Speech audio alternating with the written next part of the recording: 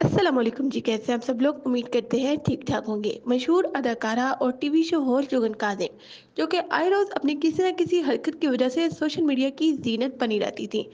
कभी किसी morning show में कोई ऐसी हरकत करती कि खबरों में इन हो जाती, लेकिन बताते चले कि पिछले काफ़ी अर्से से जुगन काजिम खबरों से और सोशल मीडिया से तकरीबन गायब ही हो गई।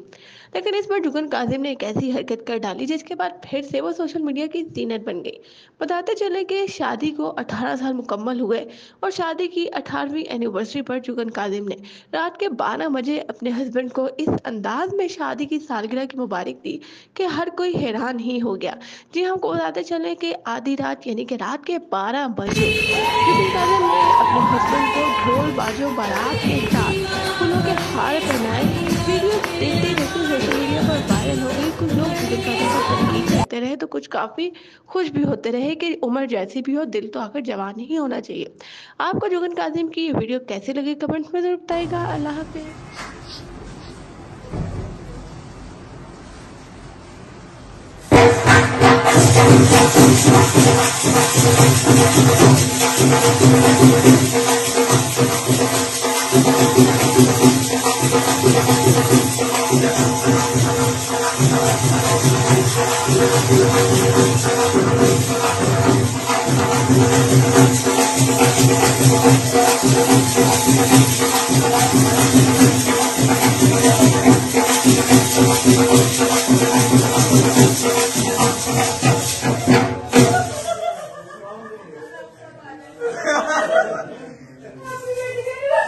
शादी मुबारक शादी हो